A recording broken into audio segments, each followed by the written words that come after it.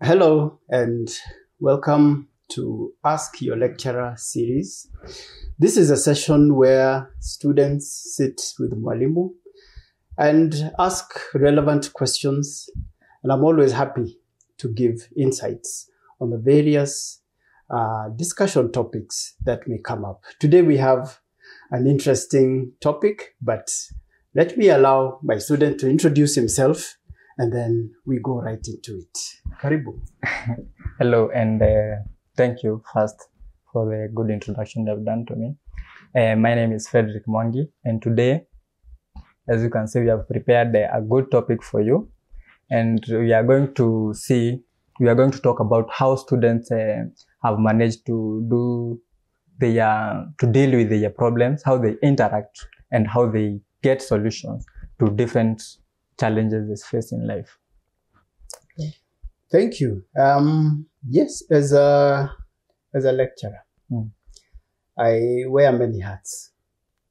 I also wear another hat of uh, a counselor, and I believe I'm also a friend to many and a father figure, and that's why, as you rightfully say, I have access to students who want to see me to ask various questions about uh, their academic journey, challenges they face in life, and also those who have other uh, issues that they would like uh, a mature approach to it. So uh, you have joined, you joined the NIBS Technical College in a period of like uh, now let's say four months. Yes, that's And uh, how can you describe the way you have the four months you have been in NIBS Technical College? How can you describe the four months?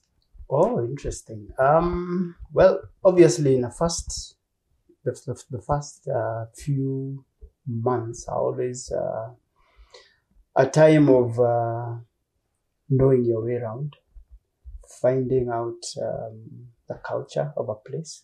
Every every institution or every home or everywhere where there are human beings, there is a culture there. So first of all, you have to go in and learn the people, learn the culture, understand your job description, and then find out your approach, how you're going to go about it. So that's the first thing I did. And I can say I received a lot of support from the management, from my colleagues, from fellow lecturers, from the HOD. Uh, but I must say, most importantly, I commend the students. I feel that I, I blended in very well with them. Uh, in the beginning, they didn't know who I was, but uh, slowly by slowly, we began the interaction. Yeah, uh, maybe you can uh, mention uh, if there is uh, any comparison between where you worked earlier and uh, how you how you are working in NIBS. Is there any comparison? Is there any difference, maybe positive or negative? Well, all I can say is that um, every institution is different. I've taught in um, about four or five institutions. But one thing in common is that I deal with young people and I deal with students. And students have a lot of similarities. And so students here or students in any other institutions that I have taught are no different because they're all young adults and the challenges that you find in young adults across, Mm. there are many similarities. So there's nothing new I'm finding here with students. It's just a different approach. And, uh, you know, social challenges are individual. So the individuals whom I meet, I handle them individually. Those that come as a group, I do a lot of, uh, you're well aware of this, I do a lot of uh, inspirational and motivational talks. So there's there's a place to speak to groups, and there's also a place to speak to individuals. And uh, after you have interacted with many students, you have said you have uh, worked in four institutions. Yes, Counting this or this the fifth? the this one, including this one. So th- those are four institutions. Yes. Can you say the interaction with students have developed you or have developed your growth personally, professionally, and professional career? Yes, I can say that to a large extent. Yes. Now, remember, as a as a trainer or as a counselor, you have a career. That is a career. Hmm. And you're growing and developing. And the way you grow in a, any career is by going into new uncharted grounds or teaching in new places or facing new challenges. That's how you grow. And in the process, obviously, you make some mistakes, uh, you learn from them, and then you progress on. So, yes, it has been a career journey for me. And over the years, you find that you have gained a lot of experience. So, you're able to handle quite a number of challenges that come. I can tell you now without any hesitation, there's nothing that I haven't come across from any student. So there's nothing that shocks me. Uh-huh. So a student may come and think that whatever they are going through is something very heavy or very big. And um, I just take them uh, as they are at an individual level. And we handle the issue that they are going through. And we usually have a lot of success. Oh, yeah, I understand. Yeah. And uh, when you came in, when you are stationed in this school, Yes. and uh, you are stationed uh, around the studio, Yes. and many students would ask, uh, "Who, who is that? Who is that? Who is that?" That's And uh, the answer would be, "This is a head of the studio of Mhm. operations." yes. And then you interacted with students, you interacted and there in classes, that is teaching. Mhm. Like some of them, you taught them uh, life skills. Yes. And there was no mention of uh, you being a motivational speaker or counselor. Yes. And how did that character portray itself? How did it come out that students realize that you, they can get advice from you? One thing I may want to mention is um, everybody has their unique personality. So w- when I came into class, I was coming into class to teach. So I was wearing my hat of Mwalimu. So I came to teach. But in the process, obviously, students picked up that uh, this is somebody you could approach because every lecturer or every trainer has their own unique style. I have my unique style as well.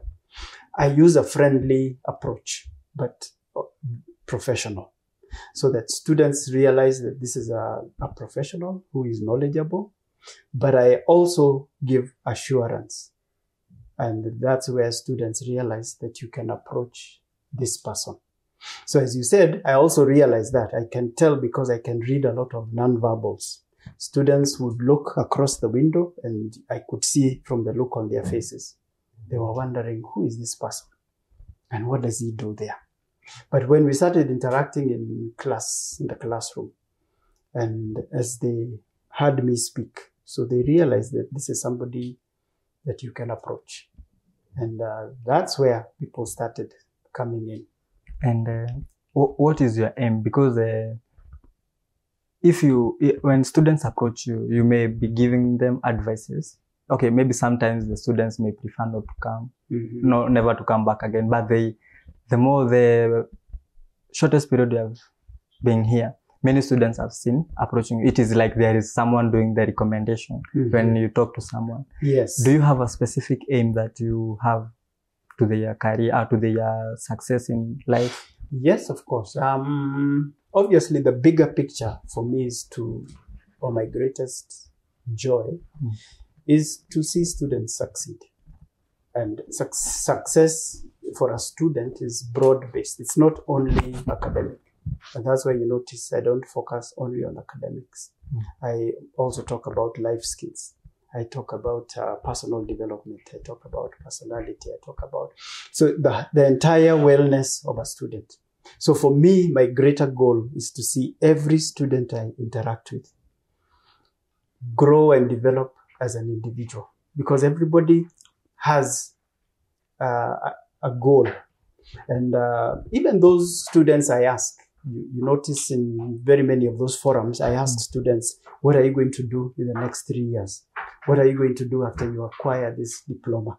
So for those who don't know, I help trigger uh, some thinking so that you can start setting goals, so that you can start seeing beyond the diploma and you can look a little ahead. That's to help students um, develop personally because there is life after your diploma program. So you have to start thinking about that now so that you can plan for it. Because success is not an accident. Success is a series of well planned events. So if you haven't thought about it, there's nothing wrong with that. But Mwalimu comes in to help trigger that, to help you start thinking about your life. Yeah, uh, Mr. Sam, uh, Yes. I may ask, uh, if, okay, I may first go and say that every, even the easiest fields, Yes. even cooking, there Yes. are many, many challenges that Yes. we encounter. Mhm. Do you have some of the, of course you encounter challenges dealing with, more so dealing with students, Mhm. but they doesn't seem to bother you. What are some of the challenges that you may encounter in, or that you encounter in your Well, um, challenges in life are normal. Now, to answer your question is, um, you see, as as you mature in age, you realize that there is nothing new under the sun. So for me, I'll tell you right now in my life, nothing can shock me because I've been through many of the challenges the youth are going through. I've been through many of the challenges adults go through. And for me, as a mature adult at Generation X, there are very few things I haven't gone through myself. So I have learned in life that you need a level head when the challenges come because challenges will come. That one is guaranteed in life. So when they do come, how will you approach them? And that's why you notice for every student who comes, nothing shocks me. If you tell me you're pregnant, I've handled many students who are pregnant. If you have a drug problem, this, it's new to you, so we'll handle it as that. But to me, it's not new. So um, challenges are there. They come in form of um, obviously in a new environment. Let me use that example. The, um, it will take time to fit in because, as I said, every every organization has a different culture, a different setting. So it will take you time to assimilate and uh, to get blended into the system. Um, but obviously, due to experience, you'll know how to maneuver and uh, settle in. There always challenges will always come. You might have, you might find that it's uh, it's not very smooth. Uh, finding out, say, the leadership's expectations, your style of doing things, and their style of doing things. So that may take a while before uh, you smoothen things out. And uh, do you have an approach? Or the, basically, this question is just about Yeah. the solutions that you. My approach is a mature professional approach, and that one works everywhere. it deals with them even with the challenges. even with the challenges, whether you're dealing with students, whether you're dealing with management, whether you're dealing with institutions, if you produ- if you promote uh, best practice and professionalism, you will overcome most of the challenges because most of the challenges would come, say, through communication barriers. Now, if you use professionalism, that means you use the proper channels, you speak to the right people, you use the right channels, say whether it's email, and they're all professional, then you find most of the challenges at that level uh, are overcome. Yeah, um, I tend to think that uh, many students have succeeded through your hands. Yes. I, do you have any comment about that? Maybe how you feel when you see the successful Well, students? it's um, it's very humbling uh, to see suc- uh, students succeed, Mm. and there are many that I I can quote who are already serving in many uh, media organizations. Um, for those of us even here who have gone through um, where we have visited various uh, media houses in our academic trips each time I go to each of them and take students, I find students working there whom I have taught. And then in each of those media houses, I find colleagues whom I worked with a long time ago. So all those are very nostalgic and uh, humbling moments for me. So at least I know what I'm doing is not in vain. And that is um, a great fulfillment for any trainer to have trained and mentored and seen the results. Oh yeah. Uh, Yes. If I may ask, uh, have you ever had? Uh, do you have any achievement that you want to accomplish with students that you have not yet accomplished? Not quite, but um, the way I would answer that is for everywhere, every station that I work Mm. or every institution that I work, like this one, my aim and goal is to see most of the students I interact with succeed. And that's why I spend a lot of time with them. And that's why I have an open door policy. My door is always open. And I always invite them to come in because many get inspired at an individual level. So that's what I would say, that's what I want to accomplish to see as many students succeed for, for their own good hmm. and for their own career development. And uh, for any, uh, well, as we conclude, eh, Yes. what are the what is the general what are the general tips that you can give to a student who maybe is watching Mhm. live to make him or her prosper and be successful to pursue college life? Oh, to the students out there, um, wherever you are, I would mention five key areas. Number one, take your studies seriously. Um, work hard, read, and don't only read what is taught in class. The syllabus is good in all institutions, whether locally or abroad, but you, you as a student are as good as your own personal initiative. So I always encourage students read more than is being taught. Gain an interest. Say journalism is a very broad field. So for example, look for a field that you're interested in, like investigative journalism, and read more about it. There's so many resources now and clips you can watch uh, on YouTube to grow. Develop an interest. What do you want to do with your diploma? Or what do you want to do with your career? So start thinking about your career development now. And then think about other areas, other areas of interest that you can combine with what you're doing. For example, if you're a journalist, you may think of doing a foreign language. That would give you more options to make you a foreign journalist or an English speaking journalist in Kiswahili and a vernacular lang- uh, language and one of the UN languages, either German or Chinese Mandarin or any of those UN languages. That would make you marketable. And then I'd tell mm, the Gen Zs, because it's you guys, the, the younger generation, yeah um, do what you need to do early. I say that as, as a parent and as a mentor. Get get done with your experiments experimentation stage early. You know, as we call it, ticking the boxes. So by the time you're an ad- young adult, yeah, you should have done all those little things that you want to try out, so you know what works for you and what doesn't work for you. And then remember, and young people forget this often, that the internet doesn't forget. So don't do silly things on the internet. It may cost you in the future. Or whatever you do that's not really pleasant, which falls under your social activities, don't cover most of that and don't post it. Because some of those things may come to haunt you later on in life. And finally, I would ask you young students get a mentor.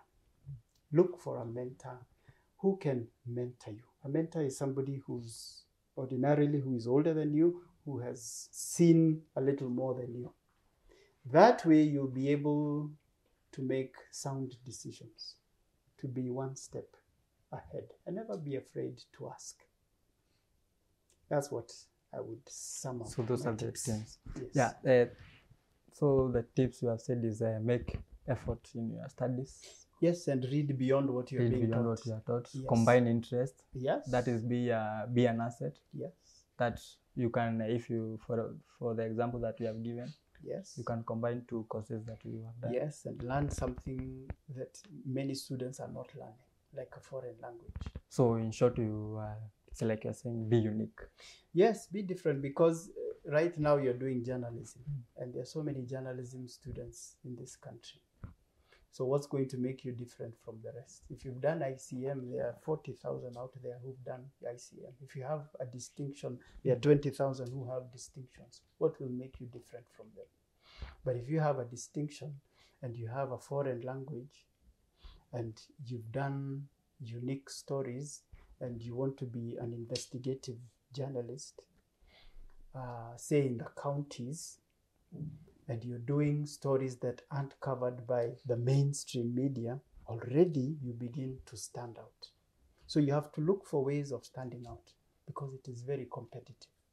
The media field is very competitive. So unless you stand out, um, it will be very difficult for you to penetrate. Uh, thank you very much. Uh, to the student uh, back there at home, I think you have uh, heard your words. What you have to do to be successful. Tips, you have more than five tips, he has said. Be an asset. More so that one because that is repeated everywhere we visit. By the way, you took a you took a group of students in uh, RMS, Royal Yes. Media Services. Yes. They were asked about uh, what they were taught there or what they learned there. Yes. They learned that you have to be an asset, just the way you have said. Be yes. an asset. Combine skill, combine interest Yes. of all what you have. So thank you guys. That is all we have for today. I think uh, this show was interesting to you. I hope it was educative to you, informative. And next time I'll be cooking something and I'll be bringing to you. Thank you guys. See you next time. Thank you very